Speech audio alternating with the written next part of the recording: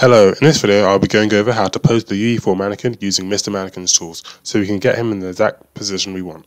The first part of this video where I install this add-on in Blender will be linked in the description.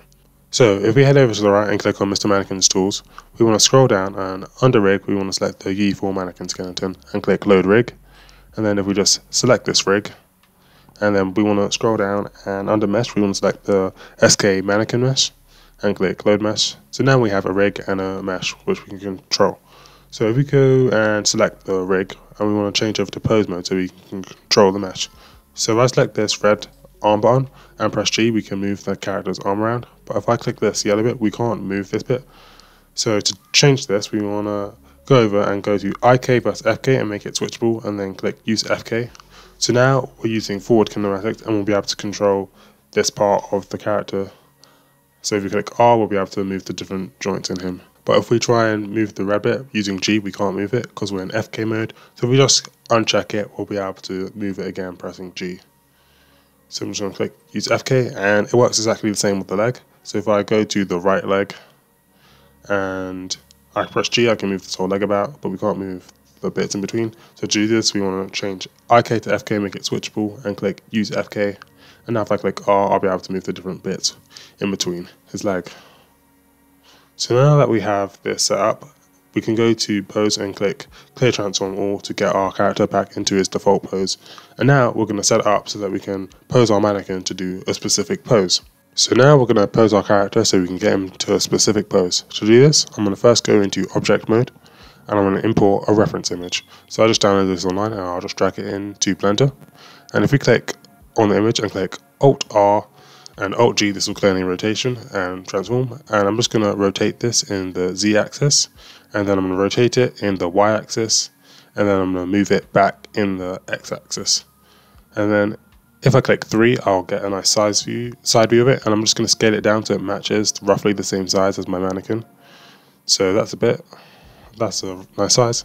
And then if we head over to the right, we just want to click this little transparency box and move the opacity down so that'll just make it a bit more transparent.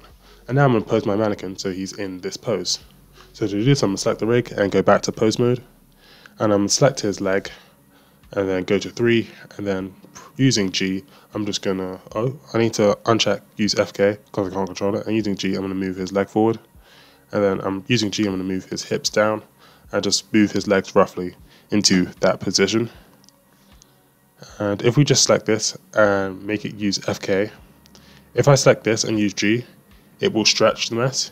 If you want to prevent this, you can click remove twist controls and it will stop it stretching.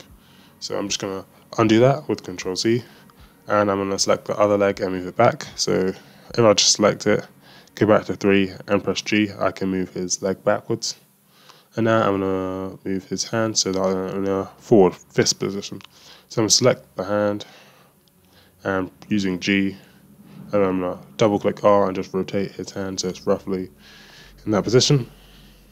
And then I'm going to go to IK versus FK and make it switchable again and use FK and using FK I want to rotate it so his arm's just a bit more straight. So I'm going to rotate it and I'm just going to rotate it up a bit and just switch back to IK mode and move his hand, his arm a bit higher. So you just want to position your character so his hand's roughly in that position. And then if we just go over to his hands, I'm just going to rotate his hands inwards so that they roughly look like they're forming a fist position. So using R and X, I'm just going to rotate his hands in this axis. I'm just going to quickly do this with all his hands so that they form a fist position. And once I'm happy with this, I'm just going to move his other arm. So I'm just select this and I just need to uncheck the use FK box so I can move it again. And I move it into this bent position and rotate his hand forward a bit. So I'm just clicking double R. It's a bit weird to control, but uh, it allows you to rotate it a bit nicely. So once you've got that, you just want to make it so your character is matching the reference pose.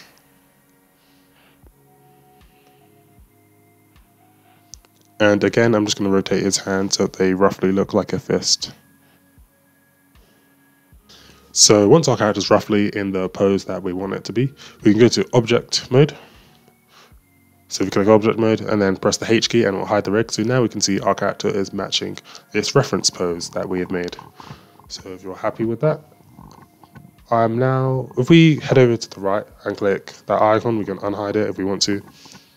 And then I'm just going to hide this image because I don't need it anymore. And we're going to make it so that this is an animation for our character. So now I want to set up this animation. So if we head over to the animation tab, we want to make sure that our character is in pose mode. So select that and then we're going to go to the dope sheet and select action editor. And I'm going to create a new action and I'm just call this man karate pose as that's the pose he's in. And then if we just select the rig and double click A so we can select everything. And then we press I and click LocRotScale then we want to move a couple frames back and press I again and click LocRotScale. We have the animation for our character. So we need to save it before we can export it. So I'm just going to save this and then click the export animations box and then click export FBX and then it will export this animation to our desktop. And if we head over to Unreal Engine, we can just drag this in and under skeleton we select the for mannequin skeleton and click import and now we can just drag this in and we have our character in our pose that's all. If you enjoyed, uh, like and subscribe, and I'll see you next time. Bye.